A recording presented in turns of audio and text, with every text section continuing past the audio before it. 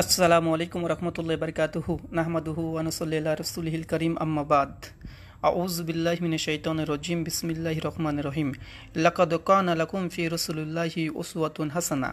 সুরা হাজাব সনম তেত্রিশ আট নম্বর একুশ। আল্লাহ সুমাতাল বলছেন, নিশ্চয় বিশ্বনবী মোহাম্মদ সাল্লাহ আসলামের মধ্যে উত্তম আদর্শ আছে। যাই হোক বন্ধুরা, আজকে একটি ছোট্ট ভিডিও লাইভ করার জন্য এসেছি। এরপরেও আমি এই বিষয়টি নিয়ে একটা লাইভ সরাসরি করব। তো বিষয়টি হচ্ছে যে আমাদের ইন্ডিয়া থেকে টাইমস নিউজ টাইমস নাও একটা নিউজ চ্যানেল আছে, বিখ্যাত নিউজ চ্যানেল, যেখানে মোহাম্মদ সাল্লাহ সাল্লামের ওপরে এবং আইসর রদি আল্লাহর ওপরে কুটু মন্তব্য করেছেন। আর এস এন সিং, যিনি একজন বিজেপি নেতা, আর এস এস এর দালাল এইসব যারা হিন্দুত্ববাদী, যারা একদম চরমপন্থী, উগ্রপন্থী হিন্দুত্ববাদী, যারা দিনে দুপুরে মানুষকে হত্যা করে, যারা দিনে দুপুরে মুসলিমদের উপরে নির্যাতন করে, যারা দিনে দুপুরে ধর্মের নামে মুসলিমদেরকে নির্যাতন করছে বিভিন্ন জায়গাতে, আপনারা দেখেছেন তাবরাজ হত্যাকাণ্ড, আখলাককে তারা গরু মাংসর জন্য হত্যা করেছে। যে টাইমস নাও নিউজ চ্যানেলে এসে সরাসরি মোহাম্মদ সাল্লাহু আলী সাল্লামের প্রতি কটু মন্তব্য করেছে। বিশেষ করে টাইমস নাও এই চ্যানেলগুলো অধিকাংশই সব ইহুদি, খ্রিস্টান যারা রয়ের সদস্যর মাধ্যমে টাকা অর্থের মাধ্যমে চলে থাকে। তো এইসব চ্যানেলগুলোতে এসে সরাসরি গোটা ভারতবর্ষ জুড়ে নেয়, গোটা বিশ্বব্যাপী বিশ্বনবী মোহাম্মদ সাল্লামের নামে কুটু মন্তব্য করেছে। তার ধিক্কা তার প্রতিবাদেই আমাদের এই আজকের ভিডিওটি।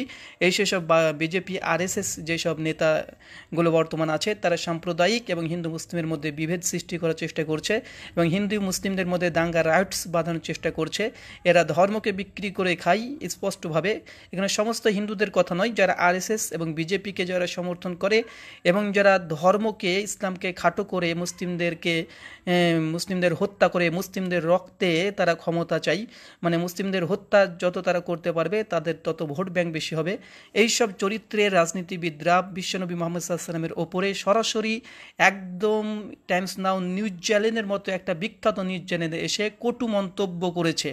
আপনাদেরকে আমি এক্ষুনি সেই ভিডিওটি শোনাবো যে তিনি কি মন্তব্য করেছেন R S R S N একজন মানে উনি হচ্ছে আর এস এন একজন সিং, যিনি হিন্দু ধর্মকে ফলো করে প্লাস তিনি স্পষ্টভাবে তিনি একজন আর এস আরএসএসের দালাল, বিজেপির একজন নেতা। যিনি ইহুদি খ্রিস্টান এবং বিশ্ব থেকে টাকা পায় শুধুমাত্র মুসলিমদেরকে ধ্বংস করার জন্য এইসব ব্যক্তির জবাবে আজকে লাইভটা করা হচ্ছে আপনারা শুধুমাত্র তার বক্তৃতাটা শুনে তিনি কি বলেছেন টাইমস নাও নিউজ চ্যানেলের মধ্যে আসলে আমরা প্রথমে তার মুখ থেকে বক্তৃতাটা শুনে নিই ছোট্ট একটা আলোচনা अरे भाई ये छोड़िए love you you have name that honourable lady Aisha RSS आप डू छोड़िए यू सुनिए do you endorse A 54 year Buddha getting married to a 9 year old girl. Women- who was Aisha? you this Aisha lived for 44 years. Then I said after the death of Prophet Prophet Muhammad and she was the responsible Now you- for killing of the Khalifa Ali. You can and and Prophet Muhammad's grandchildren যাই হোক আরেকবার আপনারা ভিডিওটি শুনেন। এখানে স্পষ্ট হয়ে বলছে যে মোহাম্মদ সাল্লাম বুদ্ধা নাউজুল মিন জালিক, তিনি নয় বছর একজন শিশুকে বিবাহ করেছে। আরও আলী রদে আল্লাহ আনুর সঙ্গে আয়সা রদে আল্লাহ দ্বন্দ্বের কথা বলছে। তো যাই হোক, আমরা এই বিষয়ে আলোচনা করব। আপনারা আলো আরেকবার আলোচনাটি শুনেন, তাহলে বুঝতে পারবেন। अरे भाई ये छोड़िए love You you have named that honorable lady Aisha. RSS आप Do छोड़िए you सुनिए do you endorse a 54 year Buddha getting married to a 9 year old girl Women- who was Aisha? you this Aisha lived for 44 years then I said after the death of Prophet Prophet Muhammad and she was the responsible Now you- for killing of the Khalifa Ali you can and and Prophet Muhammad's grandchildren and you are naming her Aisha. here you will Do you? যাই হোক আপনারা ভিডিওটি আপনাদেরকে শোনালাম। তিনি এখানে কোনটু মন্তব্য যেটা করেছে আপনার স্পষ্ট যে মোহাম্মদ সাল্লাম একজন বুদ্ধা নওয়াজুল্লাহ বিন জালিক, তিনি নয় বছর একটা মেয়েকে বিবাহ করেছেন। এটা তিনি আপত্তি করেছেন। তো যাই হোক এসব আনপর হিন্দুত্ববাদী যারা আছে, যারা ধর্মকে বিক্রি করে খাওয়ার এবং ধর্মকে বিক্রি করে রাজনীতি করছে, তারা মূলত তাদের ধর্মগ্রন্থ সম্পর্কেও কিছু জানে না। মূলত তারা তাদের মধ্যে মানবতা বলে কোনো কিছুই নেই। নচেত একশো সত্তর কোটি ফলোয়ার সেই মোহাম্মদ সাল্লামের ওপরে কটু মন্তব্য কীভাবে করে, বিশেষ করে আমাদের ভারতবর্ষে। যে ভারতবর্ষের সংবিধান পঁচিশ নম্বর ধারাতে স্পষ্ট প্রত্যেকটা মানুষের ধর্ম পালনের একটা সুবিধা আছে। সে প্রত্যেকটা ধর্ম পালন করতে পারে। কোনো ধর্মের উপরে সমালোচনা, কটু মন্তব্য, কটুক্তি করা যাবে না। কিন্তু এইসব ব্যক্তিরা নাকি, তারাই নাকি এই গোটা ভারতবর্ষকে পরিচালনা করছে। এইসব ব্যক্তিরা নাকি মুসলিমদেরকে আইন শেখাবে। তো যাই হোক, তারা এটা যে মন্তব্য করেছে, এটা ভারতবর্ষের সংবিধান বিরোধী এবং পবিত্র কোরআন, হাদিস বিরোধী এবং পৃথিবীর সমস্ত মানবতা বিরোধী একটি কথা। তাই আমরা সংক্ষিপ্তভাবে তাকে জব দিতে চাই। আর জব আমরাও ইটের বদলে পাটকেল ছুঁড়ে বা ইটের বদলে আমরা পাথর নিক্ষেপ করে জব দিতে পারতাম। আমরা বলতে পারি যে রামচন্দ্র আছে যিনি রামচন্দ্র যার নামে জয়ধ্বনি দেয় এইসব মানে পার্টিরা। এইসব বিজেপির নেতা আর এর দালাল, যারা গোরক্ষ বাহিনী দালাল আছে, এরা পরিষ্কারভাবে জয় শ্রীরাম জয় শ্রীরাম করে চিল্লিয়ে ফাটিয়ে গোটা ভারতবর্ষ নয়, গোটা বিশ্ব জগতের কাছে জয় শ্রীরাম এই শব্দটিকেই একটা সন্ত্রাসীমূলক একটা বাক্য হিসাবে পরিচয়, পরিচিত করেছে এই আর এস বিজেপির নেতারা। এই রামচন্দ্র যিনি স্ত্রী ছিলেন, তিনি সীতা, আমরা সকলেই জানি। দীর্ঘ চোদ্দ বছর ধরে সীতাকে হরণ করে রেখেছিল রাবণ। তারপর রামচন্দ্র কিছুই করতে পারেনি। তোমরা এই জয় শ্রীরাম জয় শ্রীরাম, এত ধ্বনি ই মানে শুনি, তো আসলে কি এই বিজেপির নেতা আর এস এন সিং এবং সমস্ত বিজেপি এবং আর এস এর দালাল এবং যারা আছে, গোরক্ষার বাহিনী সব জঙ্গি সন্ত্রাসী যারা আছে তারা কি কখনো এটা ভেবে দেখেছে যে তাদের জয় শ্রীরাম তথা রামচন্দ্র তিনি কত বছর বয়সে তিনি বিবাহ করেছিলেন সীতাকে কত বছর বয়সে? তারা অনেকেই জানে না, কারণ তারা ধর্মগ্রন্থ সম্পর্কে পড়াশোনা করে না, ধর্মগ্রন্থ কোনোদিন দেখেও নি কোনো হাত দিয়ে নাড়েও নি শুধুমাত্র টিভি সিরিয়াল আর রাজনীতি নিয়ে ব্যস্ত, তাই ধর্মগ্রন্থ সম্পর্কে কিছুই জানে না, তারপরে তার জন্য তারা এরকম মিথ্যা প্রচার এবং বিভিন্ন কটু মন্তব্য করতে পারে। আসলে আমরা প্রথমত দেখে নিই যে রামচন্দ্র যখন সীতাকে বিবাহ করেছিল, তখন সীতার বয়স কত ছিল? তো প্রথম আপনার জন্য নিউজ সীতার বয়স তখন ছিল মাত্র ছয় বছর সিক্স ইয়ার মাত্র ছয় বছর, যেমন আয়সা রদি আল্লাহ তালা আনহার ছয় বছর ছিল, ঠিক একইভাবে সীতা যখন বিবাহ হয়, সীতার সঙ্গে যখন বিবাহ হয়, সেই সময় রামচন্দ্রের সরি সীতার বয়স ছিল মাত্র ছয় বছর সিক্স মাত্র ছয় বছর বারবার শোনেন, ছয় বছর। এটা কোথায় আছে? এই যে আমার সামনে আছে বাল্মীকি রামায়ণ, এটা অরণ্য খান, তৃতীয় স্বর্গ মানে অরণ্য খান, সাতচল্লিশ নম্বর স্বর্গ, মন্ত্র নম্বর তিন আর দশ। বিশেষ করে এই অরণ্য খান্ড অরণ্যকাণ্ডে সাতচল্লিশ অধ্যায়ের মানে যেটাকে বলে সাতচল্লিশ স্বর্গ, এখানে চার নম্বর মন্ত্র, দশ নম্বর মন্ত্র পড়বেন। পরিষ্কারভাবে সেখানে লেখা আছে, যখন সীতা, সীতার সঙ্গে যখন মানে সীতাকে নিয়ে যখন রামচন্দ্র বনবাসে গিয়েছিল, সেই সময় সীতার বয়স ছিল আঠেরো। কত বছর? সীতাকে নিয়ে যখন রামচন্দ্র বনবাসে গিয়েছিল, সেই সময় সীতার বয়স ছিল মাত্র এইটিন মাত্র আঠারো বছর। আর বনবাসে যাওয়ার পূর্বে সীতা রামচন্দ্রের সঙ্গে দীর্ঘ বারো বৎসর, দীর্ঘ বারো বৎসর সংসার জীবনে ছিল তথা দশরথের বাড়িতে রামচন্দ্রের বাড়িতে ছিল। এই জন্য আপনাদেরকে এমন কিছু পাণ্ডিত্য হওয়ার দরকার নেই। এটা যে বাল্মীকি রামায়ণ। এটা হিন্দিতে সংস্কৃত মূল আছে। আমরা সবগুলো দেখাবো। এক একটা সংস্করণ থেকে সবগুলো দেখাবো। হিন্দি দেখাবো, বাংলা দেখাবো, সমস্ত কিছু দেখাবো। এইটা তার মধ্যে একটা বাংলাটা দেখিয়ে দিই, কারণ বাংলা শ্রোতা যারা আছে, বাল্মীকি রামায়ণ প্রথম খণ্ড, এটা বালাখণ্ড হতে বালাখণ্ড থেকে শুরু হয়েছে মানে প্রথম থেকে, এটা বাল্মীকি রামায়ণ, আপনারা সকলে দেখছেন, হিন্দুদের মধ্যে বাল্মীকি রামায়ণটা সবচেয়ে অথেন্টিক ধরা হয়। এটা গীতা প্রেস গোরক্ষপুর থেকে ছাপা গীতা প্রেস গোরক্ষপুর থেকে ছাপা বুক নম্বর দু হাজার চৌত্রিশ। এবার আমরা চলে আসব ঠিক অরণ্যখান্ড এতে দেখছেন আপনারা, এটা হচ্ছে অরণ্যখান্ড এতে অরণ্যখান্ড দেখতে পাচ্ছেন, এটা অরণ্যখান্ড এটা সাতচল্লিশ অধ্যায়। দেখেন, আমি মার্ক করে রেখেছি, একদম স্পষ্ট মার্ক করে রেখেছি। দেখেন, চার আর পাঁচ নম্বর মন্ত্রে মার্ক করে রেখেছি যে, ইক্ষুক বংশীয়দের রাজভবনে বারো বছর বাস করে। মানে এখানে আরও প্রসঙ্গ আছে, প্রসঙ্গটা আপনারা পড়ে নেবেন, আমি ধরে রাখলাম। এত বলার সময় নেই, কেন অনেকগুলো দলীয় প্রমাণ দেবো। তো রামচন্দ্র মানে সীতা আগে থেকে বারো বছর রামচন্দ্রের সঙ্গে কি করেছেন? সংসার জীবনে ছিলেন, সংসার জীবনে। আর ঠিক তারপরেই এই সাতচল্লিশ অধ্যায়, মন্ত্র নম্বর দশে সীতা কি বলছে? দেখেন, সীতা পরিষ্কারভাবে বলছে, বনবাস গমনকালে আমার মহা তেজস্বী পতির বয়স পঁচিশ বছর আর জন্মের সময় থেকে গণনা করলে আমার বয়স আঠারো। স্পষ্ট এখানে বুঝতে পারছেন, যখন বনবাসে সীতা গিয়েছিলেন, সেই সময়তে সীতার বয়স ছিল আঠারো।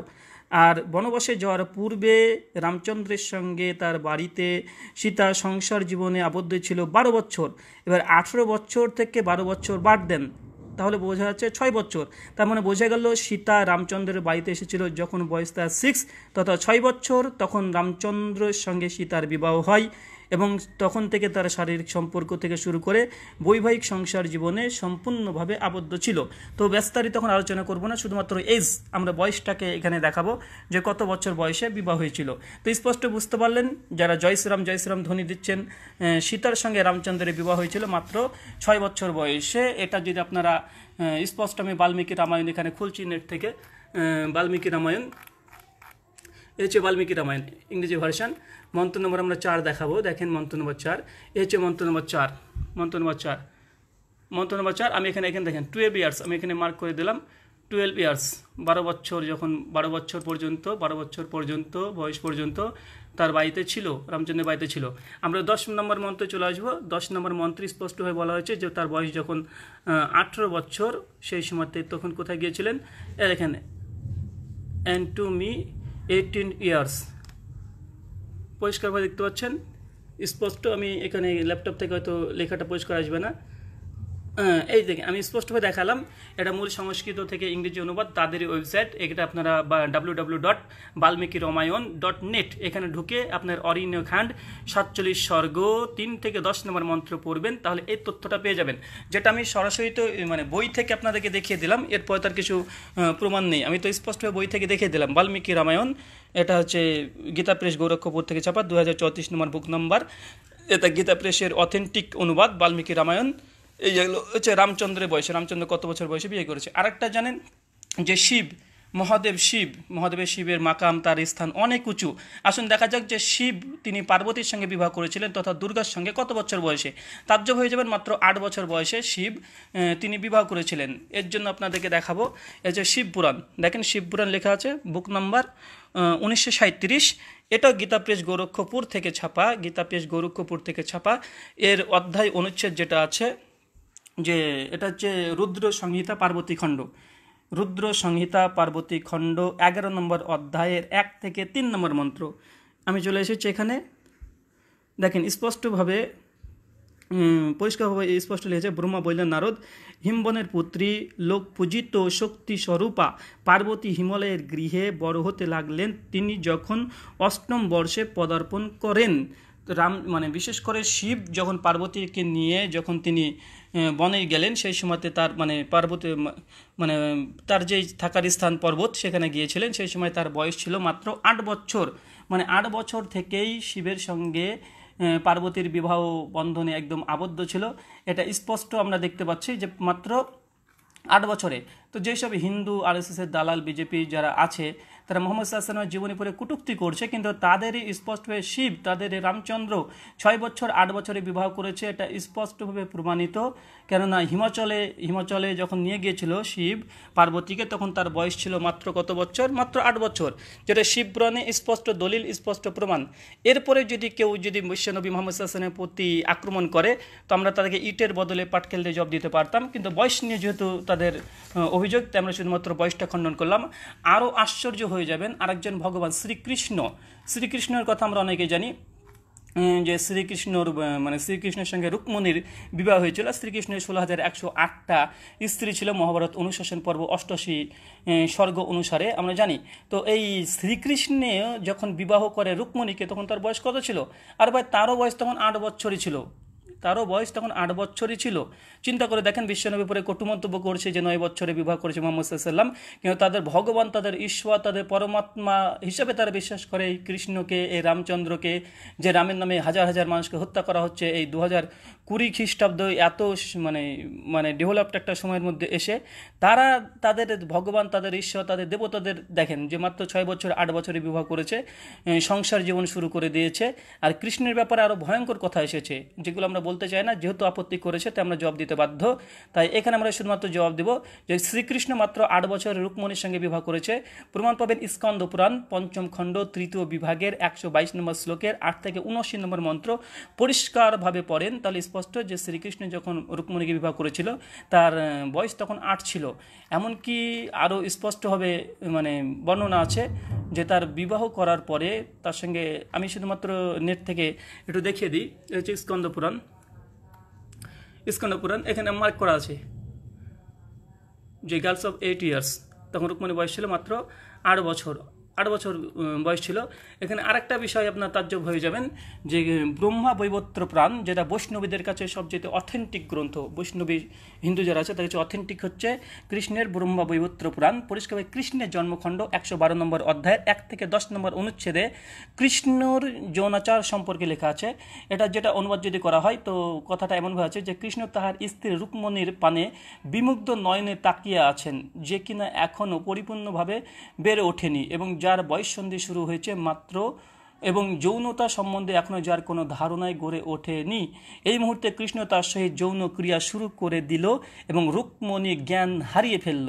চিন্তা করতে পারছেন, রুকমণির যখন এখনও বয়স হয়নি তার সেক্সের বয়স হয়নি তার শারীরিক গঠন পরিপূর্ণ হয়নি, সেই সময়তে কৃষ্ণের সঙ্গে বিবাহ হয়, শুধু বিয়ে হয় না, তার সঙ্গে যৌনাচর করতে যখন কৃষ্ণ যায়, তো পরিষ্কারভাবে বোম্বা বৈভত্র পুরাণ একশো, কৃষ্ণ জন্মখণ্ড একশো বারো নম্বর অধ্যায়ের এক থেকে দশ নম্বর অনুচ্ছেদে বলছে যে সেই সময়তে রুকমণি কৃষ্ণার স্ত্রী, তিনি অজ্ঞান, জ্ঞানহীন হয়েছিলেন। আমরা এখানে দেখাবো কৃষ্ণ বৈভত্র পুরাণ, এটা হচ্ছে চ্যাপ্টার একশো বারো একশো বারো নম্বর এক থেকে দশ নম্বর, এখানে এক থেকে দশ নম্বর এখানে পরিষ্কারভাবে দেখতে পাচ্ছেন, এক থেকে দশ নম্বর পরিষ্কার আছে যে শি ওয়াজ নট এট মানে ডেভেলপ মানে সে তখন পর্যন্ত তার শারীরিক গঠন এবং মানে শারীরিক গঠন পূর্ণ হয়নি। স্পষ্ট আপনার এখান থেকে পড়ে নেবেন, অনেক বড় এখানে মন্ত্র, দশখানা মন্ত্র আছে। আমি এখানে বিশেষ করে মার্ক করে গেছি সেগুলো আপনারা দেখতে পারেন। যে সেই সময়তে স্পষ্টভাবে মানে রুকমণি তিনি অজ্ঞান হয়ে পড়েছিলেন অজ্ঞান হয়ে পড়েছিলেন।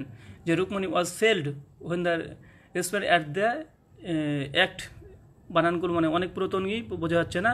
তো যাই হোক স্পষ্টভাবে লেখা আছে যে তিনি তিনি যখন তার সঙ্গে সেক্স করতে গিয়েছিলেন, সেই সময়তে রুকমণি তিনি একদম অজ্ঞান হয়ে গিয়েছিলেন, তার জ্ঞান হারিয়ে গিয়েছিল।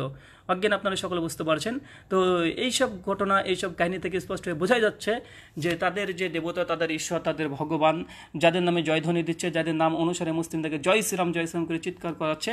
আবার এইসব R S N, R S N যে সিং আছে বিজেপির দালাল আমাজান আয়সা রদি আল্লাহ তালা আনার সঙ্গে বিশ্বনবীর নয় বছরের যে বিবাহ হয়েছিল, এটা নিয়ে আপত্তি করছে। এইসব জাহেল মূর্খ, এরা না তাদের ধর্মগ্রন্থ জানে, না তাদের মধ্যে মানবতা বোধ আছে, না তাদের মধ্যে ভারতবর্ষের যে সংবিধানের প্রতি কোনো শ্রদ্ধা, ভালোবাসা আছে তারা প্রথমত ভারতবর্ষের সংবিধানের বিরুদ্ধে কাজ করেছে। কেন ভারতবর্ষের সংবিধানে কোনো ধর্মের উপরে আপত্তি করা, কোনো ধর্মের উপরে খারাপ মন্তব্য করা, এটা সম্পূর্ণ নিষিদ্ধ। পঁচিশ নম্বর ধারা স্পষ্ট আমরা সকলে জানি। কারণ প্রত্যেকটা মানুষের কমন একটা অধিকার, সেটা হচ্ছে তারা ধর্ম পালন করবে, তারা ধর্ম প্রচার করবে, তারা একে অপরের ধর্মের প্রতি মানে কোনো রকম বিরূপ মন্তব্য, কটু মন্তব্য না করে।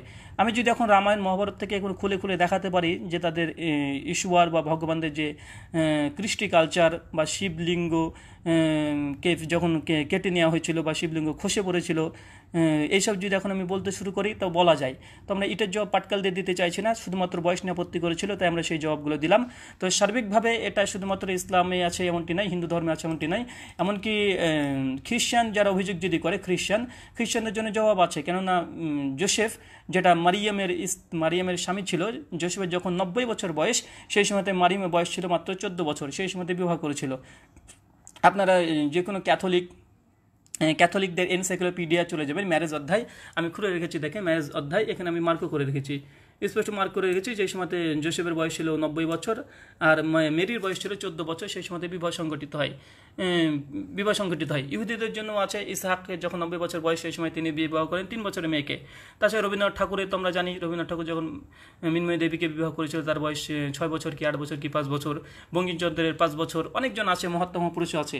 তো যাই হোক, যে এইসব আরএসএস এর দালাল, বিজেপির দালাল যারা আছে, যারা সমাজের মধ্যে হিন্দু এবং মুসলিমদের মধ্যে বিদ্বেষ পোষণ করছে তারা পরিষ্কারভাবে বিভিন্ন মিডিয়াতে এসে এরকম এরকম তারা কটু মন্তব্য করে একটা ধর্মের সমালোচনা করছে।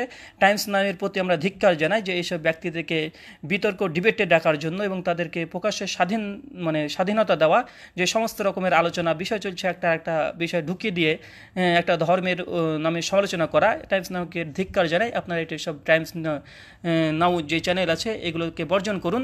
কেননা এরা মূলত ইসলামের সমালোচনা করার জন্যই তারা বিভিন্ন রকমের ইসলাম বিদ্বেষী আলোচকদেরকে ডেকে নিয়ে আসে এবং মুসলিমদের কিছু ওলেমাদেরকে ডেকে নিয়ে আসে, যারা এই সম্পর্কে তেমন তথ্য, তেমন জ্ঞান নেই, এইসব ব্যক্তিদেরকে ডেকে নিয়ে এসে এইসব বিতর্কগুলো করা হয়। তো আপনারা এইসব চ্যানেলগুলোকে বর্জন করুন আর এইসব ধর্ম বিদ্বেষী যারা ইসলাম ধর্ম বিদ্বেষী, তাদেরকে ধিক্কার জানাই। কেননা তারা ধর্মই বোঝে না। তাদের ধর্ম, হিন্দু ধর্মও তারা বোঝে না। তাদের ধর্ম যেটা আছে সেটাও বোঝে না। তারা ভারতবর্ষের সংবিধানও বোঝে না। শুধুমাত্র তারা ভারতবর্ষের মানে সংখ্যাগরিষ্ঠতা আছে, ক্ষমতায় কেন্দ্রে তারা আছে, তার জন্য তারা আবার একটা সাম্প্রদায়িক উস্কানি, একটা সাম্প্রদায়িক মনোভাব সৃষ্টি করার চেষ্টা করছে। সাধারণ হিন্দু এবং মুসলিমদেরকে উদত্ত আহ্বান এইসব এইসব মানে যারা রাজনীতিবিদ আছে যারা ডিভাইড অ্যান্ড রুল হিন্দু মুসলিমদের মধ্যে মানে বিশেষ করে দ্বন্দ্ব, ঝামেলা লাগিয়ে দিয়ে যারা রাজনীতি ক্ষমতা, অর্থ, টাকা, পয়সা, ধন, দৌলত কামাতে চাইছে, এদেরকে বর্জন করুন, এদের মানে কথাতে কর্ণপাত করবেন না। হিন্দু এবং মুসলিম ভাইদেরকে উদত্ত আহ্বান এটাই যে আপনারা এদেরকে বর্জন করুন। আমার এই ভিডিওটি সমস্ত হিন্দু ভাইদেরকে জন্য নয়, যারা মূলত ইসলাম বিদ্বেষী, হিন্দুত্ববাদী, যারা প্রকাশ্যে আসছে, বাকি সমস্ত হিন্দু যারা আছে, যারা শান্তিপ্রিয়, তাদের জন্য আমার এই ভিডিওটি নয়। আর তারা যদি অনুভূতিতে আঘাত পেয়ে থাকেন, তাদের কাছে আমি প্রথমে ক্ষমা চেয়েছি। আবারও শেষে ক্ষমা চাইছি কেননা আল্লাহ সুমাতা বলছেন, পবিত্র কোরআন, সুরা আনাম সোনা ছয় আট নম্বর একশো আট, যে তোমরা তাদের গালি দিও না, তাদের নিন্দা করিও না, যারা আল্লাহ ব্যতীত অন্য কারও উপাসনা করে কেন তারাও ভুলবশত গালি দেবে আল্লাহ সুবাহতালাকে কেননা পবিত্র কোরআন অন্য অন্য ধর্মের ঈশ্বর সম্পর্কে বিরূপ মন্তব্য করতে নিষেধ করেছে। তো আমি তার জন্য কোনো বিরূপ মন্তব্য করলাম না, শুধুমাত্র তাদের ঈশ্বরের যখন বিবাহ করেছিল, তাদের ভগবান বিবাহ করেছিল কত বছর, আমি সেগুলো দেখালাম। আর দুই নম্বর, আল্লাহ সাল্লাহ বলছেন, লাকুম দিন কুম আলিয়া দিন তোমরা তোমার ধর্ম পালন করো, আমরা আমার ধর্ম পালন করব। সুরা কাফির এক নম্বর ছয় সাত। তাই আমরা মুসলিমরা কখনো অন্য ধর্মের সমালোচনা বা হিন্দু ধর্মের সমালোচনা, তাদের ঈশ্বরের সমালোচনা করি না। কারণ ইসলাম এটা পারমিটেড নয়। ইসলাম একদম নিষিদ্ধ করেছে। পবিত্র কনসুর বাকারা এক দুশো ছাপান্ন, লাইক রফির দিন দিন ইসলাম তথা ধর্ম নিয়ে কোনো জবরদস্তি নেই। যা ইচ্ছে সে তাই করতে পারে। তবে পবিত্র কোরআন সুরা গাশিয়া সন্মার অষ্টআশি আয়তমা কুড়ি একুশ, আল্লাহ সুনাতা বলছেন ফাজাক্কির ইন্নামান্তা মুজাক্কির লাস্তা আলাইহিম বিমসাইতির। যে তোমাদের কাজ হচ্ছে ধর্ম প্রচার করা, ধর্ম প্রচার করো তোমরা। কাউকে দ্বারকরূপে পাঠানো হয়নি যে জোরপূর্বক তারা কোনো ধর্মকে পরিবর্তন করাবে। তো আমার বলা এতটুকু ছিল যে হিন্দু ধর্মের চারজনের কথা আমি বললাম, যে রামচন্দ্র, তিনি যখন সীতাকে বিবাহ করেছিল, তার বয়স ছিল মাত্র ছয় বছর সিক্স যখন শিব পার্বতীকে বিবাহ করেছিল, তার বয়স ছিল মাত্র আট বছর। কৃষ্ণ যখন বিবাহ করেছিল রুক্মণীকে, তখন তার বয়স ছিল মাত্র আট বছর। তো এইসব হিন্দু যারা আছে, যারা ইসলাম বিদ্বেষী, তারা কীভাবে বিশ্বনবী মোহাম্মদ সাল্লাহ সাল্লামের ওপরে আপত্তি তোলে যে মোহাম্মদ সাল্লাম নয় বছর বয়সে বিবাহ করেছিল? আর এমনটি নয়, কৃষ্ণর জন্মখণ্ড, যেটা বৈভত্র প্রমাণের একশো বারো অধ্যায়ের এক থেকে দশ অনুচ্ছেদ পরিষ্কারভাবে লেখা। আছে, কৃষ্ণ যখন রুক্মণীর সঙ্গে সেক্স করেছিল, শারীরিক সম্পর্ক করেছিল, সেই সময় তার শারীর গঠন পূর্ণ হয় নাই। এমনকি কৃষ্ণ যখন রুক্মণীর সঙ্গে সেক্স করেছিল, রুক্মণী তখন অজ্ঞান হয়ে গেছিল, জ্ঞানহীন হয়ে গেছিল। চিন্তা করেন আরও নোংরা নোংরা অনেকগুলো কথা আছে, আমি আপনাদেরকে দেখাতে পারি, কিন্তু দেখানোর প্রয়োজন বোধ মনে করছি না, যতটুকু মানে সমাজদের কেলে ইশারায় কাফি।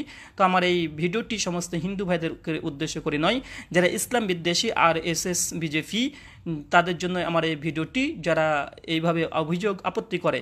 আশা আশা করি আপনাদেরকে এই বিষয়টি বোঝাতে সক্ষম হয়েছি। আজকের মতো আমরা এখানে বিদায় নিচ্ছি। আসসালামু আলাইকুম ওরহমতুল্লাহি ওয়াবারাকাতুহু